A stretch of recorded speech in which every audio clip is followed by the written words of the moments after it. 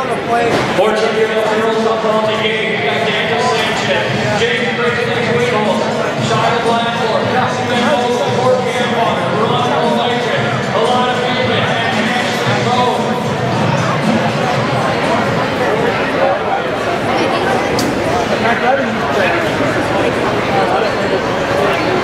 My dad about